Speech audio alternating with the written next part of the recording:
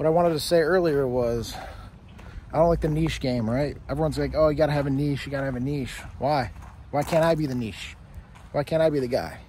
I'm a general review guy. I review a lot of things. I think that's beneficial to everybody, right? I'm not just streamlined in one category. I'm out here making moves. So, uh, you know, there's still a bunny over here, if you guys wanted to know. But why niche down?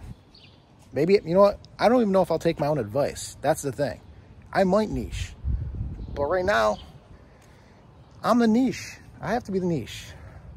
I'm a guy reviewing stuff. That's the niche, okay? I'm reviewing stuff for the people. That's a niche. Anyway, you know, I don't know, maybe I'll find more deep meaning.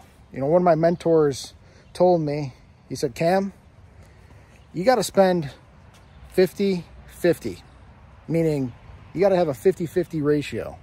You got to spend 50% of your time in the city, 50% of the time in the country, farmland, and nature. 100% city, we're not built for that. We're not built for it. It causes us to go nuts. We go haywire. It's just constant, just going, going, going. No reset. No reset means poor quality. A lot of things go wrong. So what you got to do is go in nature. So if I go in nature, I might find the answer to the whole niche thing.